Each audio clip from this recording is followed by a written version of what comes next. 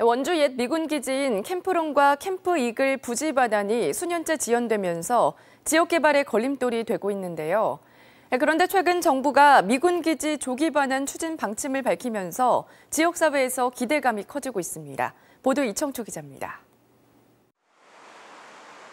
철조망으로 된 철문이 굳게 닫혀 있습니다. 원주 미군 기지 캠프롱이 폐쇄된 지 9년이 지났습니다. 원주시는 34만여 제곱미터 부지에 야외 공연장과 복합 상가모를 갖춘 문화체육공원을 조성하기 위해 지난 2016년 국방부의 토지 대금으로 665억 원을 완납했습니다. 하지만 토지 오염 정화 비용 문제로 수년째 기지 반환이 지연되면서 오염은 계속 진행되고 땅값도 상승해 올해 125억 원을 추가로 부담해야 했습니다. 이런 상황에서 정부가 전국 26곳의 미군 기지에 대한 조기 반환 의사를 표명했습니다.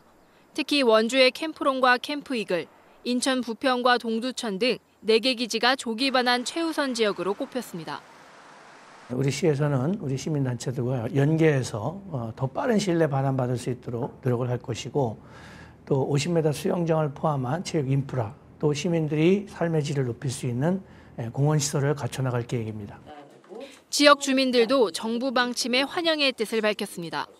그동안 도심개발 제한과 재산권 침해 등을 받아온 주민들은 미군 기지가 반환되면 지역 경제 활성화에도 도움이 될 것으로 기대하고 있습니다.